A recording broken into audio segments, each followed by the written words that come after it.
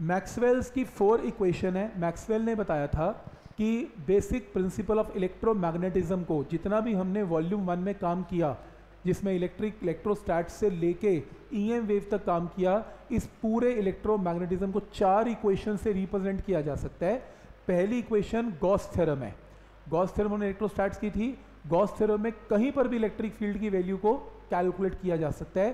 तो ये अकेली इक्वेशन, बहुत पावरफुल इक्वेशन है, जहाँ पर कॉम्प्लेक्स बॉडीज या पॉइंट चार्जेस में ई कैन बी कैलकुलेटेड दूसरा, गॉस लॉ इन मैग्नेटिज्म। इस, ये हमारे सिलेबस में नहीं था, जिसमें B dot D S zero होता है क्लोज बॉडी के लिए। हमने इसके ऊपर काम नहीं किया, पर हाँ अगर आप करेंगे आगे फर्दर तो मैग्नेटिक फ़ील्ड की वैल्यू को कैलकुलेट किया जा सकता है इस इक्वेशन से।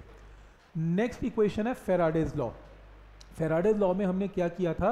इंड्यूज इलेक्ट्रिक फ़ील्ड जो था E T dot D L वो क्या होता था? Minus D phi by D T तो ई एम आई का फेराडेज लॉ का प्रिंसिपल था और लास्ट है मॉडिफाइड एम्पियर सर्किटल लॉ और जो हमने ऑलरेडी डिस्प्लेसमेंट करंट के फॉर्म में किया।